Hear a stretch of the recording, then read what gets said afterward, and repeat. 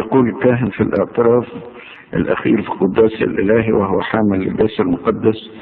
أعترف إلى النفس الأخير أن هذا هو جسد المحيي الذي أخذه ربنا يسوع المسيح إلى آخره من سيدتنا القديسة مريم وجعله واحد مع الوتي إلى آخره. فهل هذا يعني أن جسد الإفخارستية هو نفسه جسد التجسد؟ طبعا. طبعا. وهل جسد الإفخارستية متحد للاهوت طبعا. ولكن نحن لا نأكل اللاهوت. نأخذ الجسد المتحد باللاهوت لكن لا نأكل اللاهوت. افهموا دي.